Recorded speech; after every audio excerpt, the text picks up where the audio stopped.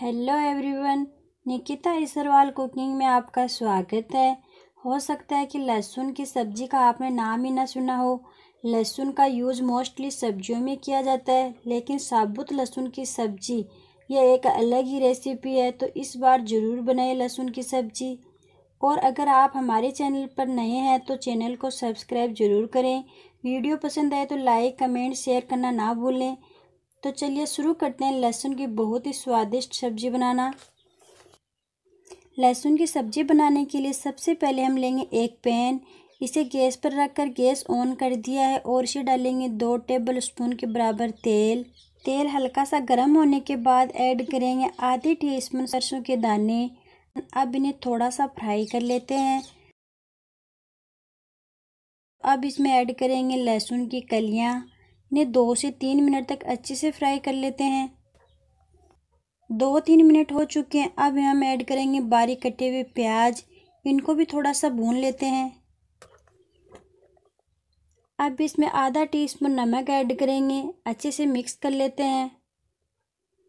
Mix करने के बाद बारीक कटी हुई हरी मिर्च भी ऐड कर देते हैं। अच्छे से मिक्स करेंगे, एक दो मिनट के लिए फ्राई कर लेते हैं। अब इसमें ऐड करेंगे हल्दी पाउडर, मिक्स कर लेते हैं। टमाटर भी ऐड कर देते हैं और इन्हें भी सॉफ्ट होने तक फ्राई करेंगे। टमाटर सॉफ्ट हो चुके हैं तो अब हम कड़ी पत्ता ऐड कर देते हैं और मिक्स कर लेते हैं। तो अब one and half teaspoon लाल मिर्च भी ऐड कर देते हैं।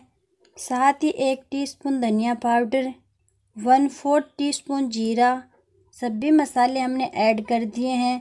तो अब इन्हें मिक्स करके एक कप पानी डालेंगे और हल्का सा मिक्स कर लेते हैं। साथ ही एक चम्मच गुड़ भी ऐड करेंगे, जिससे सब्ज़ी के टेक्सचर में इम्प्रूवमेंट आएगा। तो अब हम इन्हें ढक्कन लगाकर इन्हें तकरीबन दस मिनट तक पकने के लिए छोड़ देंगे।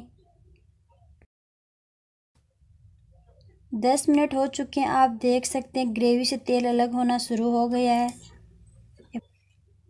तो अब हम इसी स्टेज पर ऐड करेंगे वन फोर्थ टी स्पून गर्म मसाला और मिक्स कर लेते हैं। हमारी लहसुन की बहुत ही स्वादिष्ट सब्ज़ी बनकर तैयार है तो आप सर्दियों में या मानसून के टाइम इस रेसिपी को ज़रूर ट्राई करें, क्योंकि लहसुन में मौजूद एंटीऑक्सीडेंट्स हमारे इम्यून सिस्टम को बूस्ट करने में बहुत ही मदद करते हैं और साथ ही इसके और अनगिनत फ़ायदे हैं, तभी तो लहसुन का यूज़ भारतीय रसोई में हर रोज़ किया जाता है।